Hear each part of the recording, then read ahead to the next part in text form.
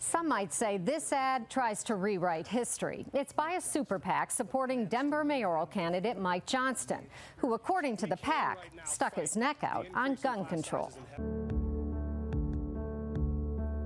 You're right, we can't get the kids back that we've already lost, but we can sure refuse to send them more.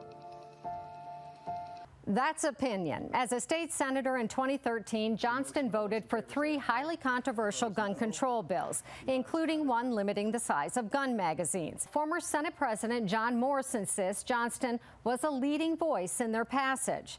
The daughter of one of the main sponsors, then Representative Rhonda Fields, disagrees, arguing that giving a speech for a bill isn't courageous, co-sponsoring it is. And Johnston declined to do that. He had a chance to lead, Maisha Fields says, and didn't. The ad claims he continues to lead on the issue. Now, Mike Johnston's running for mayor with plans to expand the red flag law and create a 10 day waiting period for purchasing a firearm.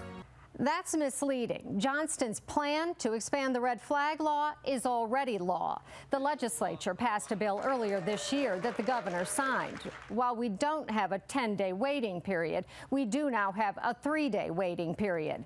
Johnston hasn't said how seven more days would make a difference.